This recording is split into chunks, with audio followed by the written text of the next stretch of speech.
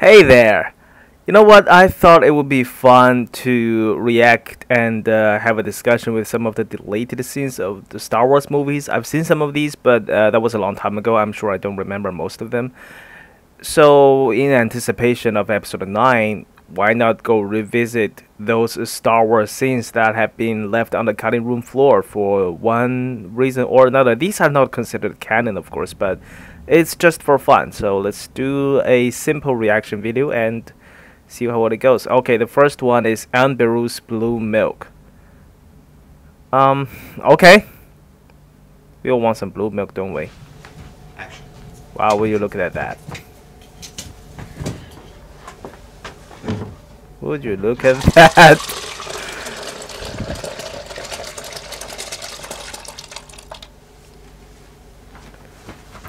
Yeah, she really is making this feel like a normal procedure, just like at home doing her chores. Um, well, there's not a lot to comment on that, but it's just it's kind of nice to see a little bit more in detail of this kitchen. Let's just examine the scene. I don't know, for lack of a better thing to do. That, that looks kind of like an R2 unit, at least aesthetically speaking. I have no idea what these are, some kind of roots. I think they just put some twigs from Tunisia. I don't know what the hell they did to put up this scene. And is this supposed to be some kind of plant? Uh, you know, usually you don't keep a plant in a place like this because it doesn't see any sun sunlight. But I suppose if it's any uh, exotic plant outside of Tatooine, we kind of have to keep it in the shady places because the the planet is too damn hot and there are two suns. Again, more of this device. It's basically structured as still as a kitchen, you know, the uh, uh, cabinets over your head, and this is the only thing that works apparently. You can't see the cursor, right? If you can't see the cursor, I'm just uh, throwing around my hands like a crazy person. And there goes the blue milk. I wonder, you know, those of you who have visited Galaxy's Edge, is this how your blue milk comes by? And how is it? Because I'd like a taste of that. I mean, it, yeah, you you know what? This when Luke gets his milk from the Last Jedi, you can kind of see it's um a little bit of a callback to this scene. They're both getting their milk. Well, that's uh, not very convincing, of course. Okay, that's Amber gets her blue milk. Tosche Station. Now, I think we're getting to the good stuff. oh my god, this fucking footage. Okay, I know what this is about. I've seen this before a long time ago. God, look. He looks so fucking dorky. No, I'm sure that's just a prop, Luke. Leave it alone. Oh yeah, this, uh, uh, um, you know what, I'll just let it play for now. This is supposed to be the battle uh, between the Star Destroyer and uh, Tantive 4. You know what, it looks nothing like that, that's probably why this scene is cut. You never fucking get that that's what it's supposed to be. Oh, you have a name? Yeah, fuck you.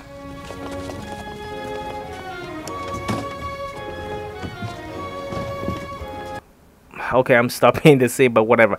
Uh, one thing I always appreciated is how this thing warbles a little bit when when people get in it. I mean, of course it's hanging by the wire. You can actually see the fucking wire here, but when but it adds a little bit of uh, sense of realism to this uh, levitating speeder.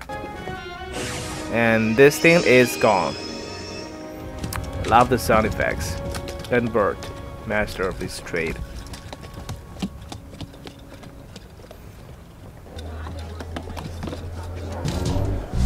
So this is the Tosche station, you know. He was going to the Tosche station to pick up some power converters. This is what he's talking about. So he, no wonder why uh, Uncle Luke was kind of pissed off that he was going back there because he just came from here. And there's Biggs Darklighter. I never expected you to be on Wilkins. the Academy didn't change you.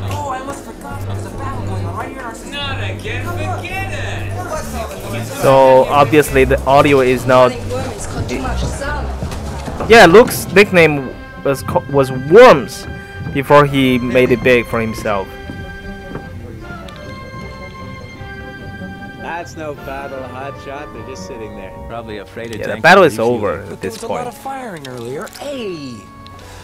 I tell you, Luke, the rebellion's a long way from here. This planet, big hunk of nothing. I doubt if the Empire would even fight to save the system. Oh, I would fight to save the system. It's like the most important planet on the galaxy. Uh, a little bit on this scene here. So this scene is pretty much canon in my opinion. It's in the novelization, which is not really canon anymore, but it just makes too much sense to not be canon. And uh, it gave us a little bit of a between Luke's Luke and Biggs because when Biggs showed up uh, at the third act of A New Hope, it's, it was kind of out of nowhere, and they were suddenly supposed to be best friends, even though we only heard Biggs mentioned once before that point. So it's kind of abrupt. But this is kind of a nice uh, gap bridger. You should you could probably call it that. And if I remember correctly, there's a little bit more of where this is coming from. So we probably will see an, an additional scene between them later on. I'm not sure if it's in this video, but I think this one is kind of nice. It uh, showcases Luke's aspirations to be out there, to be in the battle. I mean, normal people, if they see uh, an interplanetary battle right outside of their own atmosphere, they would probably freak out. Just don't, they don't, they wouldn't be out there looking for it. But Luke is, uh, Luke is so desperate for action that he is really he, really disregards all that kind of cautionary stuff and he just want to be in the action of it all but it also speaks volume that nobody is believing him because nothing really happens to Tatooine, which is the source of his frustration, of course. Okay, next scene is what is it? Cut back to Princess Leia and the space battle.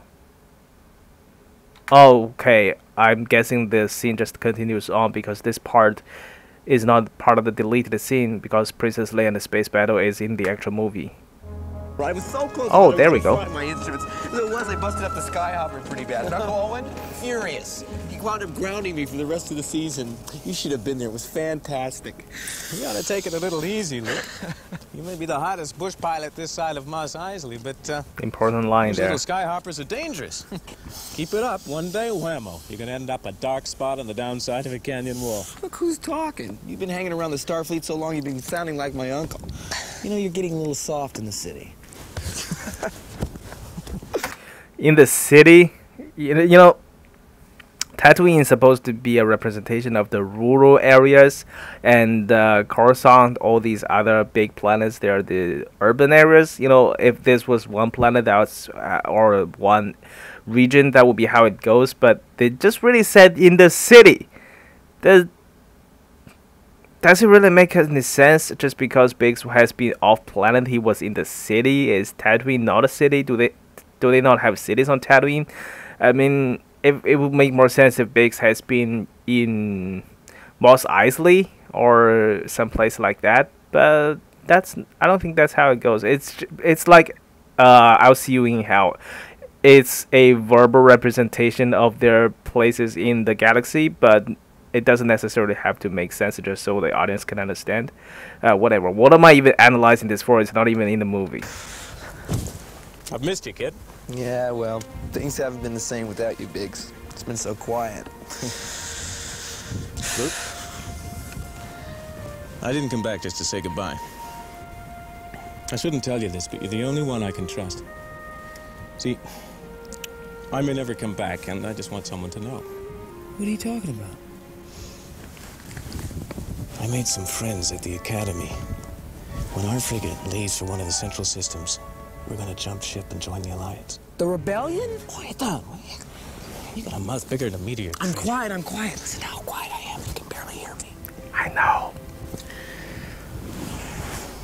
My friend has a friend on Bestine who might help us make contact. Bestine? You're crazy. You can wander around forever trying to find them. I know it's a long shot, but if I don't find them, I'll do what I can on my own. It's what we always talked about, Luke. I'm not going to wait around for the Empire to draft me into service. The rebellion is spreading, and I want to be on the side I believe in. Yeah, meanwhile, I'm stuck here. You'll get your chance to get off this rock. You're going to the academy next term, aren't you? Mm, Not likely. I had to cancel my application. What for? My uncle needs me. Oh, No, I'm serious. The Sand People have been getting really crazy. They've even raided the outskirts of Anchor. come on, Luke. Your uncle could hold off a whole colony of sand people with one blaster. I know. But we've got almost enough evaporators to make the place pay off. I have to stay one more season. I can't leave him now. What good's all your uncle's work if the Empire takes it over? You know they've already started to nationalize commerce in the Central Systems? It won't be long before your uncle's just a tenant, slaving for the greater glory of the Empire. No, that's not gonna happen here. You said yourself the Empire won't even mess with this old rock. Things can change. I wish I was going. Are you gonna be around long? No. Leaving in the morning. Hmm. I guess I won't see you. Oh, Mark Hamill Maybe is so young. I'll keep a lookout. yeah. I'll be at the Academy next season, and then who knows? I won't be drafted into the Imperial Starfleet, that's for sure. Well, take it easy, buddy. You'll always be the best friend I've ever had. So long, Luke. Yeah, don't get too attached though.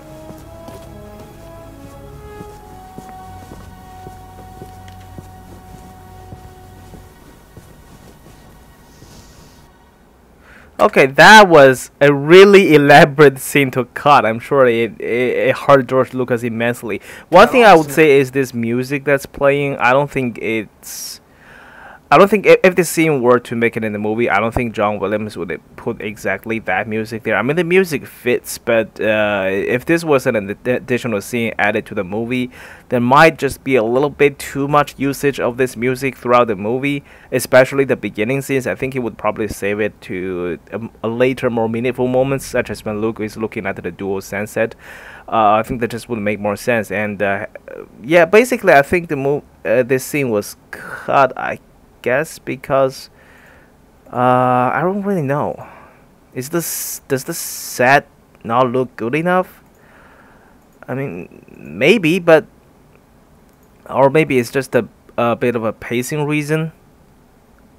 Because I really think this is kind of essential scene to set up their uh, well, set up Luke's beginnings and his relationship with Biggs because that plays uh, a role later on in the movie at a very critical moment and it's supposed to elicit some kind of emotional reaction out of the audiences when Biggs dies but it- it's kind of lost it there if you don't know the uh, relationship between them. I mean, most people, I guess, uh, a little bit of experienced Star Wars fans when they watch the A New Hope today, they have this relationship in mind either because they read the novel or because they uh, they saw the deleted scenes or because they have uh, just uh, got to know about this relationship uh, anywhere else in the thousands, uh, tens of thousands of expanded universe or canon materials. But if you don't, I'm guessing that uh, death of Biggs is a little bit abrupt. His appearance and his disappearance both were so fast and unprepared for. Back, and I just. Anyway, I think this is one scene uh, so far that actually could perfectly make it into the movie. But it, of course, it would alter one big thing from the movie, and that is how Luke appears. Because when Luke physically appears the first time in the movie, this was all done with, and uh, he was already back at the farm waiting to buy the droids. So that's a little bit of change here, and essentially you could argue that the movie really doesn't lose all that much by cutting all these scenes off because Luke did recount most of his sentiments uh, with C3PO. But it, it was kind of just fast. It, it was a lot of information dump during that one scene. I'm kind of analyzing uh, this movie from this point of view of someone who has never seen the movie, and I can uh, only imagine that because I'm really familiar with it. It's a weird thing. Okay, this what is this? The search for R2D2. What happened during the search for R2?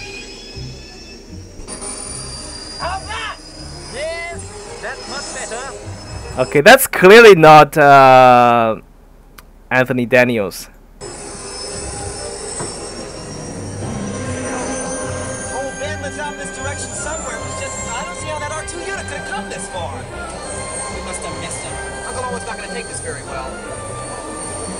Would it help if you told him it was my fault? Sure, he needs you. Or maybe it is. Maybe it's just the noise of the engine covering it up, uh, and the the voice is not uh, super tuned well. Probably only deactivate you for a day or so. Activate. Yeah, well, on the other hand, if you haven't removed his restraint Wait a second. look at there's a droid on the scanner. Set Oh, okay, there we go.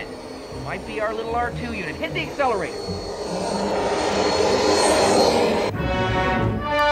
Now we know we know this. This looks perfectly color corrected per special edition, so that's definitely. Uh, I think this. Well, this this part is interesting because it uh, shows us some more of Luke's engineering stuff, engineering skills.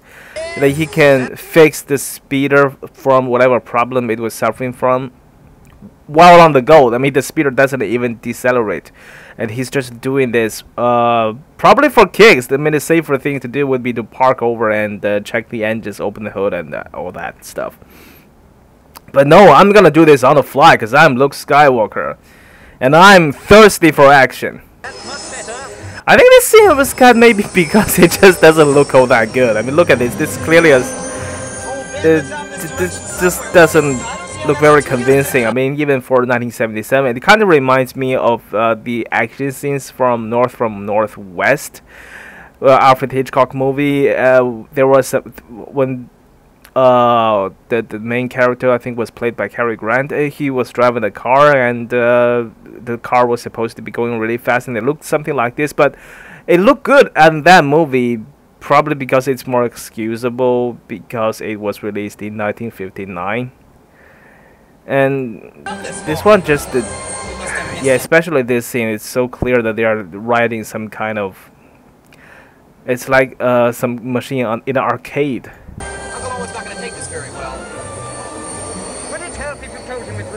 Plus, uh, you know, it's not it's absolutely unnecessary to be in a movie. I mean, I think it kind of worked well. They just kept this scene alone. So what if the speeder cut almost broke down during uh, during their way to R two? It doesn't really matter. Okay, stormtrooper search.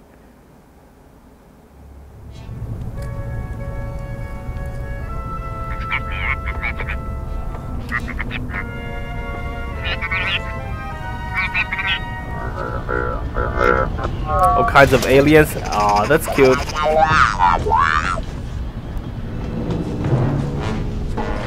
Check that one.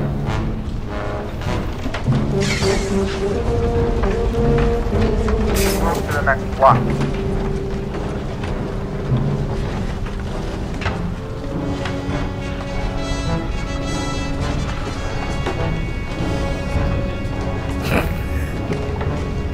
Uh, look at the, all these people with all these crop, uh, all these props. It's it's cute. I mean, it, this is not a necessary scene per se, but it's pretty nice. It, it's just a little bit more showcasing of uh, the multiple life forms living on Tatooine, especially Mos Eisley, this place, uh, the hive of uh, something and villainy. I don't remember the exact description of Obi Wan, but there are all kinds of li- uh, alien life forms living on this in this area, and it's, kind of cute, but you know it's also not strictly necessary.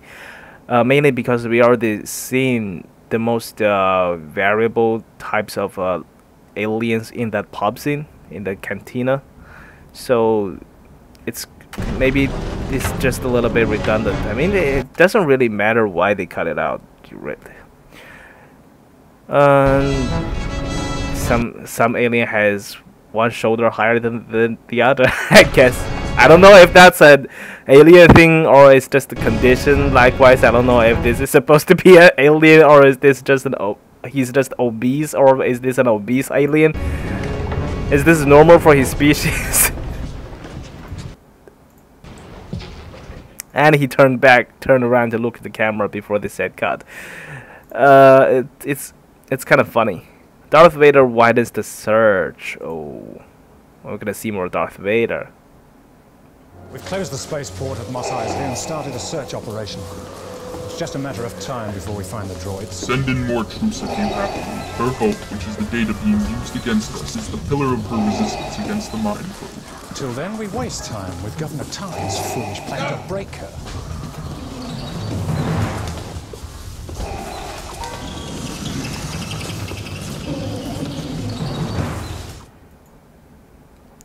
Okay, Vader's voice is a little hard to distinguish before they perfected it. it uh, I'm sure post uh, production, but let's hear that Before again. find the droids. Send in more troops if you have to.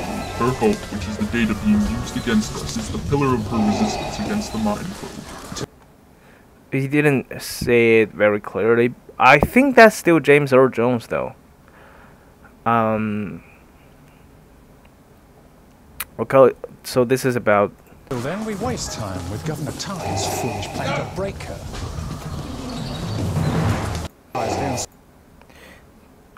it's called Darth Vader widens the search, and yeah, that's Just a what matter of time before we find the droids. Send that's in what the conversation is about. Her hope, which is the data being used against us, is the pillar of her resistance against the Mind Probe. Till then, we waste time with Governor Tarkin's foolish plan to break her. Governor Tarkin's foolish plan to break her, I assume destroying her home planet. Well, you know what? They, they really don't. they aren't really in a position to mock Tarkin's plan. I mean, that didn't work out eventually, but. And neither were their neither were their own tactics of torturing Leia. I mean, none of those actually worked. Uh, they, they, didn't they never really got anything from Leia until she, for some inexplicable reason, decided to to drag the uh, Millennium Falcon, which was clearly tagged as she had herself had acknowledged it, and uh, drove it back to the Yavin 4 base, thus ex- uh, exposing the location to the Death Star. I still don't understand why she did that, but but the torture didn't work. The destruction of her home planet didn't work either. That speaks to her character, really. We have uh, another R2 unit here, and uh, it has a transparent dome. I don't think we've seen that because that looks very 70s and 80s. It's kind of like the spaceman helmet, classic type.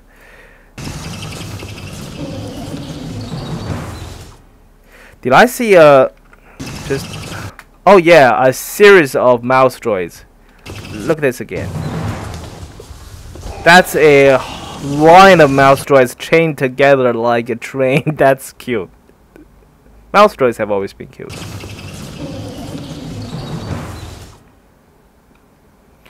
By the way, uh, in one of the uh, expanded universe novels that I've read recently, uh, somebody actually made use of these mouse droids. This is not in any way pertaining to this video, just an interesting fact. Some some girl, I think, uh, her droid infiltrated an, an imperial base, captured a lot of these mouse droids, just scattering around uh, in the base, reprogrammed them to be bombs, and actually sent, uh, not bombs. I think they just uh, just reprogrammed them, and uh, at at her at its master's notice, all the mouse droids went loose, uh, went into all kinds of places in the Imperial base, and started destroying the communications, uh, the relay stations, all, all kinds of stuff, wrecking all kind of havoc, and nobody saw it coming because nobody paid any attention to these mouse droids. I, I don't even know what their re- real purpose are. I think they're just the representations of real mice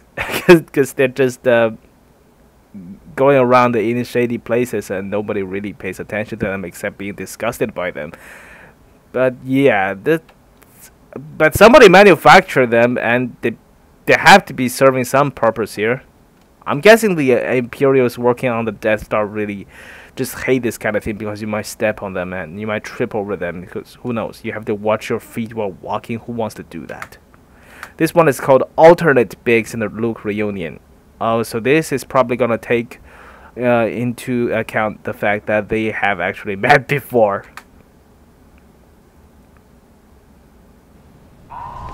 Luke! Oh, Big! Hey, how are you? Oh, are you sure this is what you want?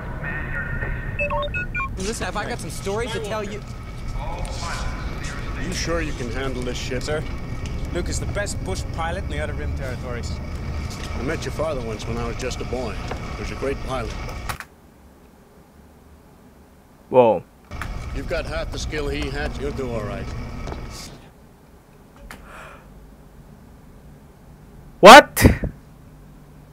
Are you sure this is what you want? Are You sure you can handle this shit, sir? Lucas. He did, he did say ship, right? Let's hear that again. You sure you can handle this shit, sir? Yeah, he said ship. For a moment, I thought, are you sure you can handle that shit? Because that would be mind blowing if he said that, but not as mind blowing Luke as what he said next. Pilot in the Outer Rim territories. I met your father once when I was just a boy. He was a great pilot. Ugh, you met Anakin Skywalker? What the fuck, Red Leader? Uh, I'm assuming you don't know that's Darth Vader now? Because he'll be flying with you in the air today. Not with you, against you, but whatever.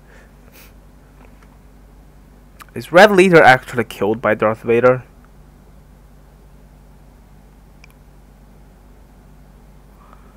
Uh, was Red Leader killed by Darth Vader himself? I, I I'm not sure. I think he was. Okay, clearly, uh, the the idea at this point is uh, Darth Vader was not Anakin Skywalker yet. I mean, at least uh, it wasn't intended to be in this movie, but y- you can kind of explain this. You can you can ring it around and make it kind of make sense. I mean, before he was Darth Vader, he was Anakin Skywalker for a long time, and for about three years, he was General Skywalker in the Clone Wars. So he must have flown a lot of missions with a lot of people, and some of them, but one of them might have been, you know, young Red Leader. I don't know. I forgot what his real name was, but it's possible. And he remembered this General Skywalker, and he knows this is his son that he's talking about. How though? You have to because Luke doesn't. I mean, he wouldn't. If he knew General Skywalker, he would know he was a Jedi, and Luke didn't know that. So I, I have, have have to make sense of it. I guess maybe. I guess Luke and Biggs would know the name of their father of of Luke's father. I mean, he if he kept the name Skywalker, I don't think Owen Beru would necessarily conceal the name of his father to him. He would know he's called Anakin Skywalker. He thought he was a spice-free pilot. And Biggs would know the name. He joins the rebellion, tells them about Luke, just some kid that is going to be a very talented recruit if he ever comes to the rebellion side and uh, he would tell them uh, I don't know how the conversation would ever go to Anakin if uh, if it they never suspected he was a Jedi or anything special. But if they ever mentioned uh, maybe he just said Luke Skywalker uh, and he and maybe Red Leader who knew Anakin would say something like oh his name is Skywalker. Is he uh, related to Anakin Skywalker? And Biggs would be, yeah, he's just some spice-free pilot, nobody important. Uh, no, he's a Jedi. What are you talking about? I served with him. He's cool and he's funny and he's he's brave. And he's everything. And we and tells him all about the Clone Wars shit. And Biggs would be like, this isn't like a lot of shit has to happen for this to make sense. You've got half the skill he had. Meanwhile, R2 is just uh, back there, uh, uh, like thinking, "Yeah, I've been through all that shit, but I'm not gonna tell anybody." You'll do all right. And uh, that's it. That's the deleted scenes I found from uh, Star Wars: A New Hope, and um, these are really good. These are really fun, and I can see why they're not in the movie, but you know what? Don't take this too seriously. They're not really canon, but it's really fun to go back and see the things they left out, to see what Star Wars could have been if they had been in there. I guess not much would have been different. Star Wars probably would have been exactly how it is today if these scenes were in, but Uh, anyway, that's it for now, and uh, probably do Empire Strikes Back next if you guys would want to see that. And so, thank you for watching, and uh, I'll see you in the next reaction video. Bye bye.